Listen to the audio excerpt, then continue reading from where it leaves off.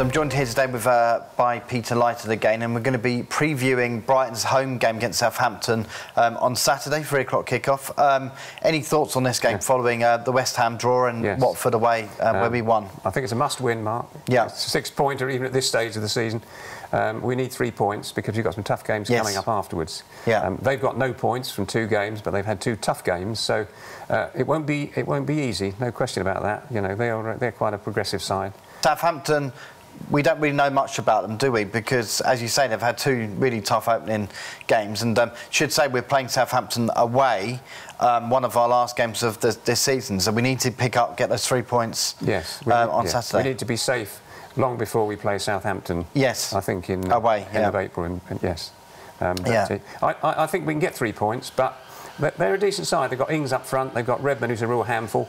Yeah. Um, Ward Prowse in midfield, who's, who's, a bit of a midfield dynamo. But yeah. looking at what Brighton did last uh, Saturday, um, we, we can beat them, and I think you know we've got to be positive. We're now also going to see um, Steve Hopper, who was at the Whitehawk home game um, last Saturday. So we're going to see um, what uh, what he saw on Saturday um, at the Terra Pura ground. If you've not seen the series before, welcome. It's a very simple format. In footballing terms, I am an orphan, and the idea behind the series is can a club adopt me to support it? And as you've just seen, Whitehawk FC went some way to doing that last season. Uh, predictions for this season? Well, yeah. obviously we haven't really played many games yet, but no. um, it's like I said, a lot of us are very optimistic because we kept a lot of the squad from last year. Um, we've got good players probably much better players than other teams in this league, so you've got to be very hopeful.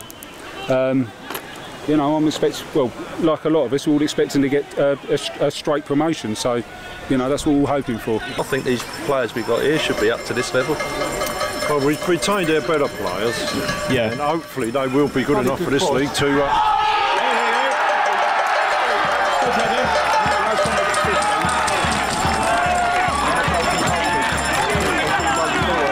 goal. It's 1 0 to the Hawks. Great start to the season, 16th minute.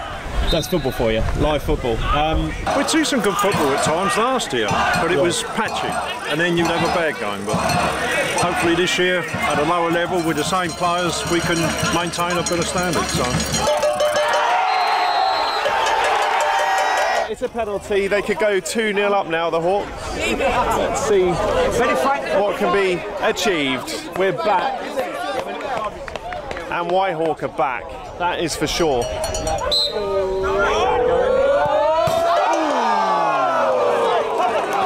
Seven days. she's the youngest Whitehawk supporter here. That's what we were told today. She's the youngest. Could it be a record?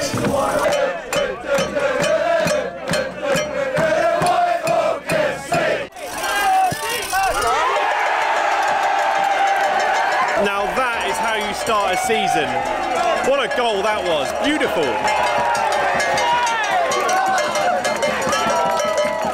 Get in! Come on! Come on! Get, get in there! Come on, you old! Hey! Get in! Come on!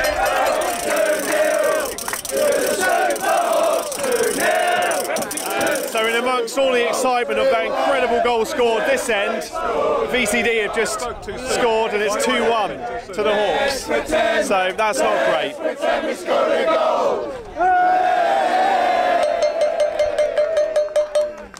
Oh, we're back, we're back.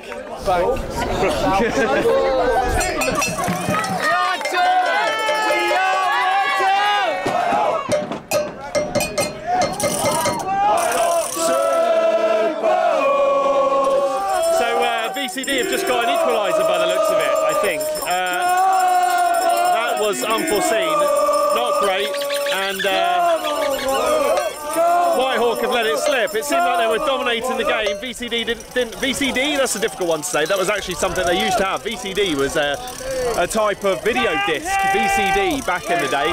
And uh, anyway, I digress on that. They've just got an equaliser, 2 all.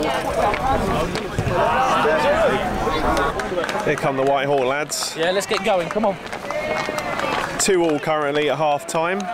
Let's see what they can achieve for the second half. First five, get them going, yeah? Come back.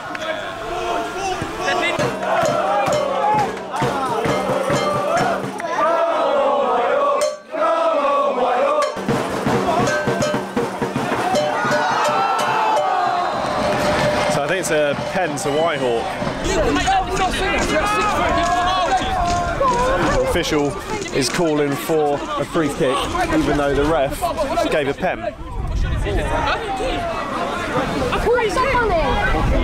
This is the difficulty at this level of the sport because there's no VAR. And there we have a third goal for the Hawks. It's 3 2 passing through into the net. I love, love, love when I see goals constructed like that by a team because that shows that the team are gelling well when they can pass through a defence with that type of ease.